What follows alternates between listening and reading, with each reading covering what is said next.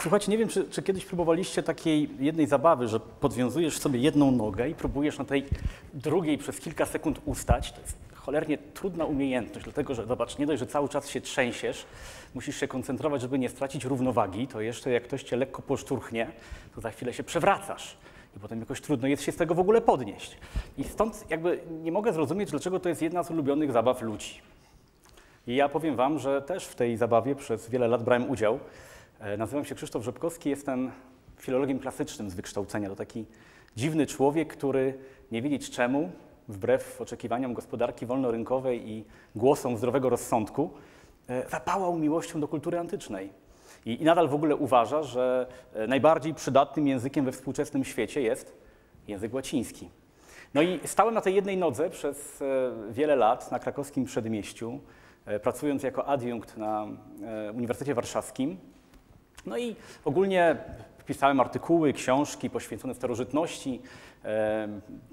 Starałem się jakoś przelać w duszę moich studentów tę miłość do antyku, a potem, wiecie, przy pomocy różnego rodzaju narzędzi, tortur sprawdzić, czy ta miłość się odpowiednio gruntowała. No i potem poznałem moją przyszłą żonę i któregoś dnia przytrafiło nam się coś takiego.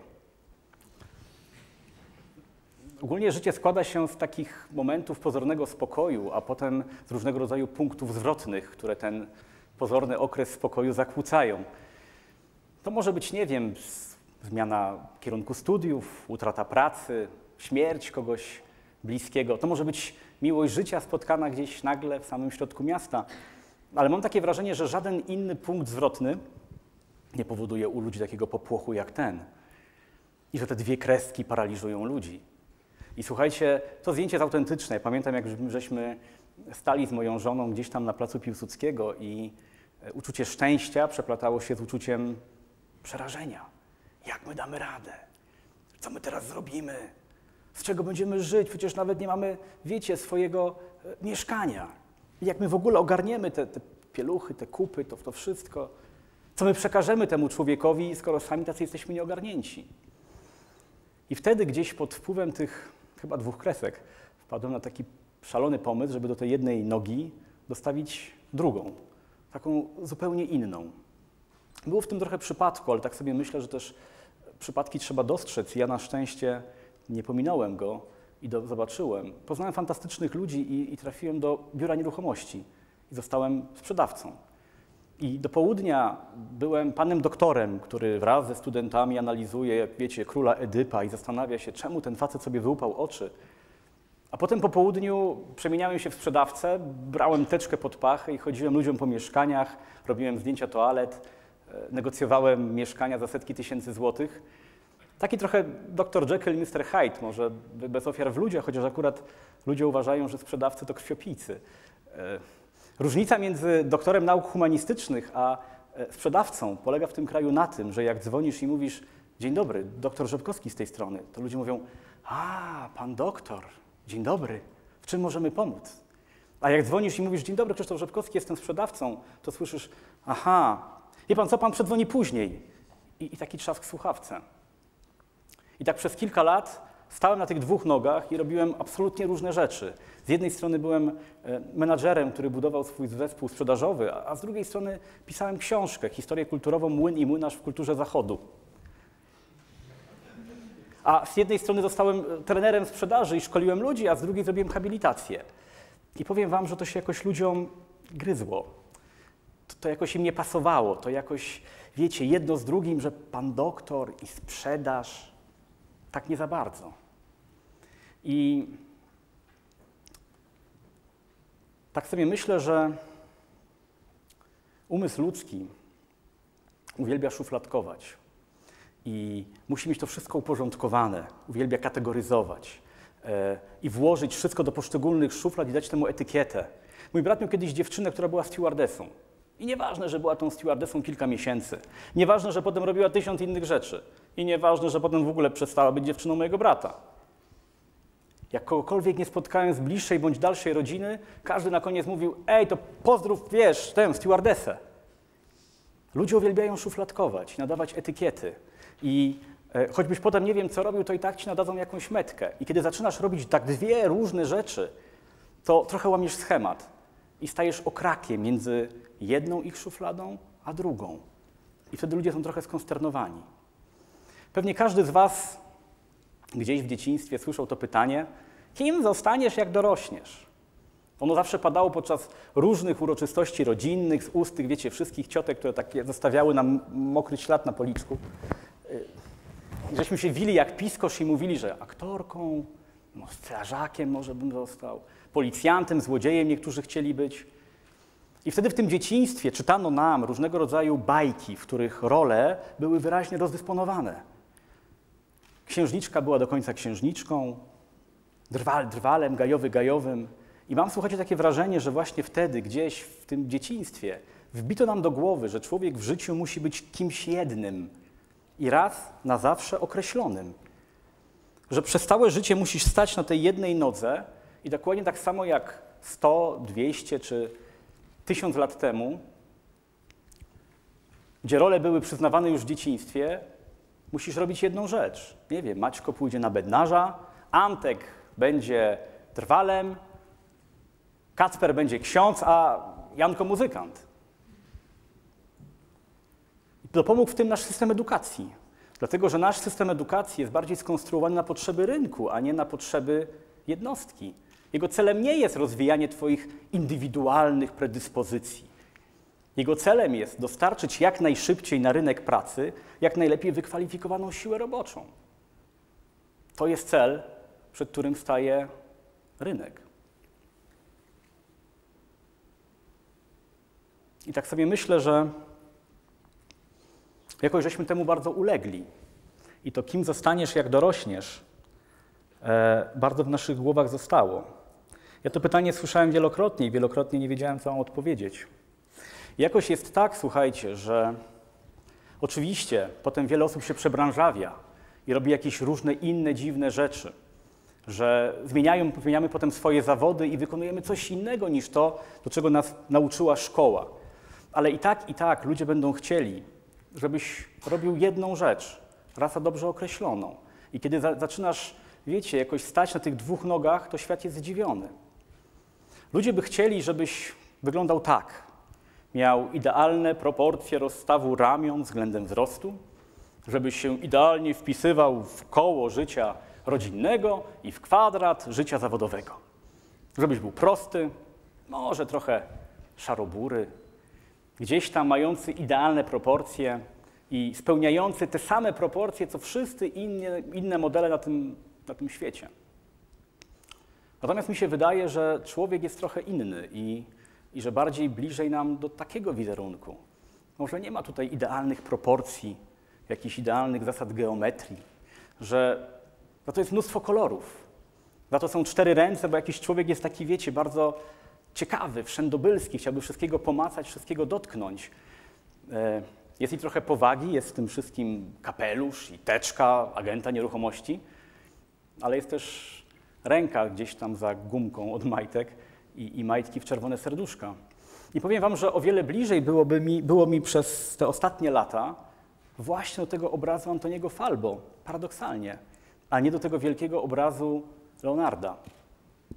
Nie przyszło mi to łatwo. Ja jestem człowiekiem wychowanym przez antyk, a antyk uwielbia proporcje, zasady dekorum, porządek, jakiś ład w tym wszystkim.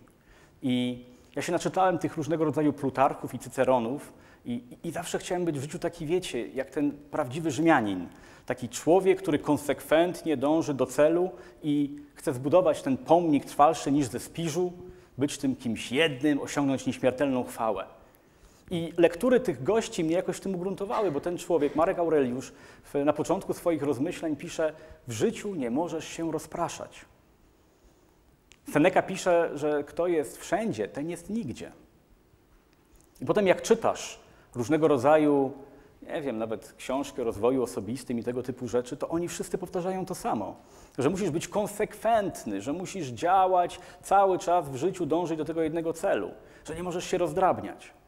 Że jeżeli chcesz osiągnąć prawdziwy sukces, to musisz poświęcić, niektórzy piszą 7 lat albo 10 tysięcy godzin.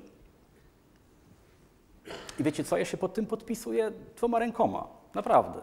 Że jeżeli ktoś chce osiągnąć coś wybitnego, być kimś genialnym, to tak naprawdę musi się poświęcić całości, oddać 100% swojego czasu i życia.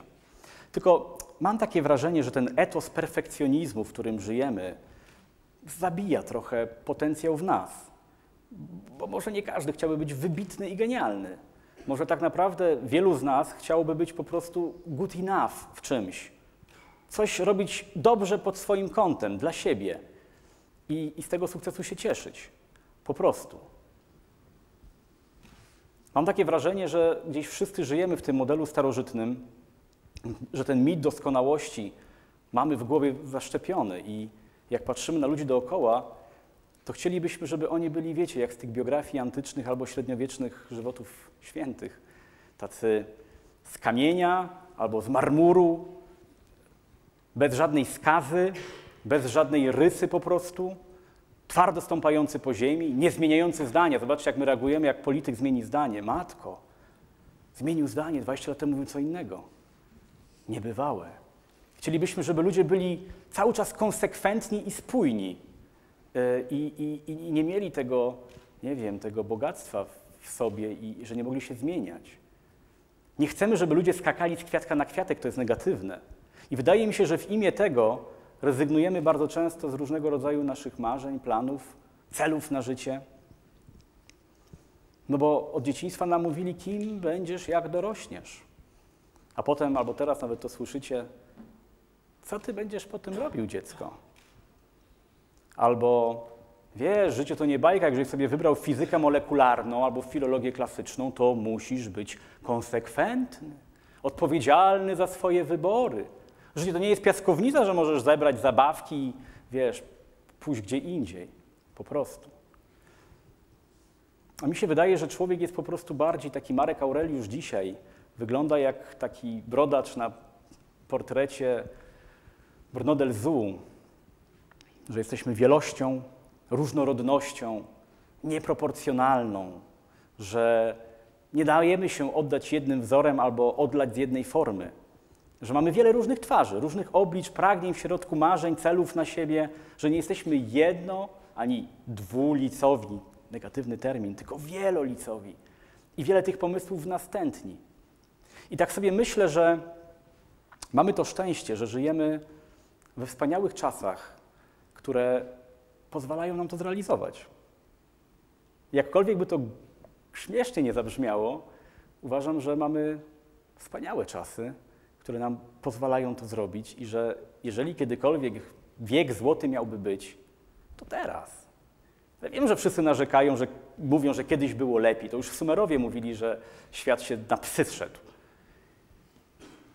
Starożytni to w kółko powtarzają, że to już dziadostwo dzisiaj. Słuchajcie, nie jest źle. Nasza planeta się jeszcze nie rozpadła, powietrze w miarę znośne, mamy czym oddychać, lodowiec się jeszcze nie rozpuścił, Poza tym żyjemy, przynajmniej w naszej części kontynentu, bez większych konfliktów zbrojnych, póki co, bez głodu, bez niewoli. Postęp medycyny sprawił, że żyjemy o kilkadziesiąt lat dłużej niż nasi poprzednicy. Nic, tylko się cieszyć i żyć. A przede wszystkim, po raz pierwszy w dziejach ludzkości, możemy zupełnie bezkarnie, do woli, garściami, czerpać z największych jej zasobów. I to nie jest jakieś złoto, to nie jest węgiel albo ropa naftowa, bo tak akurat się kończy, tylko wiedza. Wiedza przez wieki była pilnie strzeżona i dostęp do niej był udziałem tylko wybranej elity kapłanów, urzędników dworskich, garstki intelektualistów. Później, XVIII-XIX wiek, na skutek przemian społecznych i upowszechniania się oświaty, ta wiedza była upowszechniona czy udostępniona szerszym masom. Ale to dopiero w naszych czasach, teraz, waszych, w ciągu ostatnich kilku lat dostęp do wiedzy jest powszechny dzięki internetowi i temu. Dzisiaj każdy w każdym miejscu może korzystać z wiedzy. To jest kompletnie niebywałe. Ja pamiętam, jak żeśmy z moim kumplem starali się w liceum zagrać schody do nieba. Wiecie, próbowałem na gitarze grać kiedyś, próbuję nadal. I żeśmy mieli magnetofon Grundig na kasety, to takie, może przypomnę, bo nie każdy wie, to takie plastikowe z dziurkami było. I, tam się wkładało te kasety i przewijało, żeśmy zażynali tą kasetę po to, żeby takt po takcie próbować odtworzyć schody do nieba. Fałszowaliśmy niemiłosiernie. A dzisiaj bierzesz przeglądarkę, wpisujesz How to play Stairway to Heaven i ci wyskakuje kilkadziesiąt e, materiałów wideo, tabulatory, nuty, cokolwiek tylko zapragniesz. Dzisiaj możesz leżąc w pozycji horyzontalnej i popijając przez słomkę czekoladowe latę, czy tam czekoladowego szejka, e, śledzić jednocześnie transmisję na żywo z opery w Sydney, czytać artykuły, czy w roku 2018 warto inwestować w elektrownie wiatrowe, czy nie, kontynuować jednocześnie swoją lekcję mandaryńskiego albo sprawdzić w manualu, jak wymienić uszczelkę w sokowirówce. To jest kompletnie niebywałe. Dzisiaj mamy dostęp do miliarda 800 milionów stron internetowych, a digitalizacja największych zbiorów muzealnych i bibliotecznych osiągnęła 70-80%. To dla porównania ten Marek Aureliusz miał dostęp do 20 tysięcy zwojów. I nie mógł na żywo, chociaż był najpotężniejszym człowiekiem przez 19 lat na tym świecie, na żywo śledzić, siedząc, nie wiem, e, na Palatynie w Rzymie, transmisji z teatru Dionizosa w Atenach. Dzisiaj na tyłku mamy dostęp do wiedzy nieporównywalnie większy niż wszyscy ludzie wszystkich epok razem wzięci. I tak sobie myślę, że głupio by było z tego nie skorzystać. Pewnie kojarzycie tę piosenkę. Zdziwiłbym się, gdyby nie. Dokładnie rok temu, 12 stycznia, Luis Fonsi opublikował ją w internecie. Od tego czasu ta piosenka odnotowała 4 miliardy 640 milionów wyświetleń, co oznacza, że prawdopodobnie pobiła rekord świata w dyfuzji i szybkości informacji. W starożytności informacja z Rzymu do Egiptu szła około 40-50 dni. To oznacza, że się poruszała z prędkością 2 km na godzinę. Potem wraz z postępem to tempo informacji trochę się zmieniało, malało, potem przyspieszało. W XIX wieku już nie było źle. Kiedy Abraham Lincoln został wybrany na prezydenta Stanów Zjednoczonych, informacja o jego wyborze dotarła z Waszyngtonu do Kalifornii w ciągu 7 dni i 17 godzin. To oznacza, że poruszała się z prędkością 11 km na godzinę. Dzisiaj informacja przekazywana jest z prędkością zbliżoną do prędkości światła. To oznacza, że każde despacito, że każdy wytwór myśli ludzkiej i sztucznej inteligencji także, każda idea, każdy pomysł, każdy wynalazek, który kiedyś potrzebował dziesiątek lat, by dotrzeć z jednego zakątka kontynentu na drugi, że dzisiaj rozpowszechnia się błyskawicznie i za chwilę dezawuuje się i przepada, wypchnięty przez kolejny pomysł, ideę, wytwór człowieka bądź maszyny.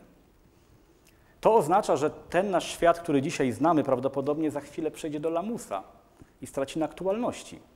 To oznacza, że być może zawód, do którego się właśnie dzisiaj przygotowujesz, albo ten, który już wykonujesz, za chwilę nie będzie potrzebny. Świat go zastąpi maszynami albo zrezygnuje z niego. I tak sobie myślę, słuchajcie, że epoka, w której szkoła przygotowywała raz na resztę życia, dając nam wiedzę o świecie, niezbędne umiejętności, jakiś fach, który pozwalał nam zarobić na chleb, skończyła się bezpowrotnie. I że dzisiaj, żeby nie stracić na aktualności któregoś dnia i, i, i nie wypaść z tej cholernie rozpędzonej karuzeli, jakim stał się współczesny świat, po prostu nie możemy ściągnąć szkolnego mundurka już nigdy i cały czas się musimy uczyć.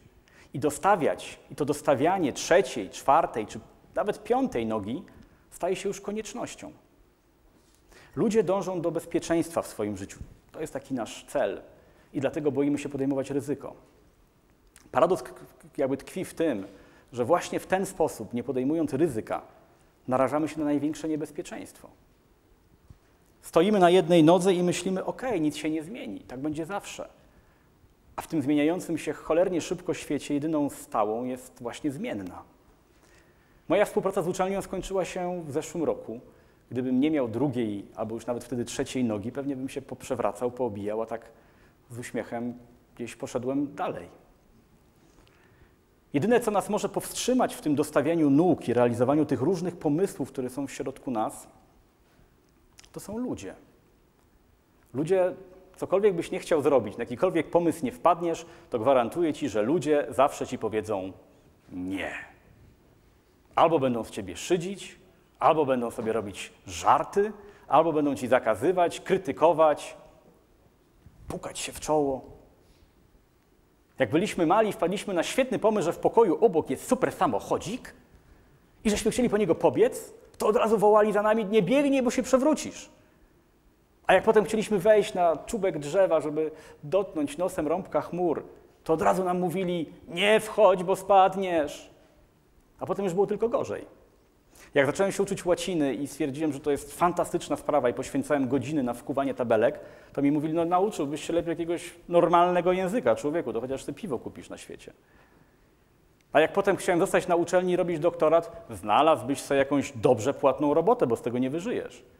A jak ją potem znalazłem, tą dobrze płatną robotę i pracowałem w nieruchomościach, to znajomi mówili, że zostałem domokrążcą. A rodzina y, pukała się w czoło i mówiła, że no, na tym to się chłopaku przejedziesz. A jak potem wpadłem na napisanie tej książki o młynie i młynarzach w kulturze zachodu, to ludzie mówili, no to widzę, że kolega Rzepkowski teraz z branży nieruchomościowej do zbożowej się przerzucił. I tak ciągle. Co tylko nie próbujesz zrobić, to ci wszyscy mówią nie. Ludzie to są takie, słuchajcie, dziwne stworzenia. Jak ci się nie uda, to powiedzą, a nie mówiłem? Trzeba było słuchać. A jak coś osiągniesz i coś zrobisz, to poklepią ci po ramieniu i powiedzą: Zawsze w ciebie wierzyłem. Jestem z ciebie dumny. Dlatego wiecie co? Przestałem pytać ludzi, co mam robić. Myślę sobie, że życie to jest taka wielka restauracja, w której jest mnóstwo różnych fantastycznych potraw ze wszystkich zakątków świata.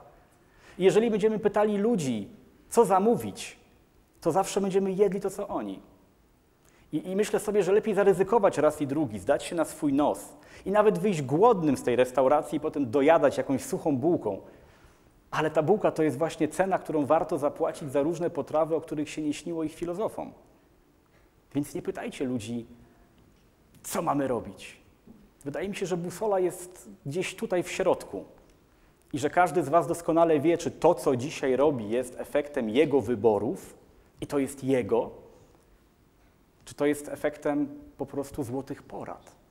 I czy to, co buzuje w nas i te różne pomysły na życie i tak dalej, to, to czy one przypadkiem nie są hamowane przez to, że się wstydzimy, boimy się, że nas wyśmieją, popukają w czoło. Jest takie zdanie u Herodota, że przeciwności losu wydobywają z człowieka jego siłę. I, I, życzę Wam jak najwięcej tych różnych przeciwności losu, tych różnych punktów zwrotnych, tych dwóch kresek również. Jest takie szwedzkie powiedzonko, które mówi, że spokojne morze jeszcze nigdy nie wydało talentowanego żeglarza. Czyli im więcej będzie tych burz, tych sztormów, tym większą będziemy mieli siłę, a życie będzie coraz bardziej ciekawe i różnorodne. I jeżeli to nie jest wasz świadomy wybór, to nie stójcie na jednej nodze. Chodzenie na dwóch nogach jest o wiele ciekawsze. Idzie się szybciej, świat można oglądać z różnych perspektyw, poznaje się zupełnie odmiennych ludzi. No i się człowiek jakoś tam za szybko nie wywróci. A pomysłów na to, co można byłoby robić, tutaj jestem pewien jest mnóstwo i, i szkoda by było tego nie zrobić. Tylko czasu, wiecie co, tak wbrew pozorom nie jest jakoś strasznie dużo. Bo niezależnie od tego, ile mamy lat, to tak naprawdę przed nami jeszcze co, może kilka wschodów słońca na plaży z ukochaną osobą, a potem turnus się kończy i trzeba będzie się pakować. Obyśmy ze wszystkim zdążyli. Powodzenia.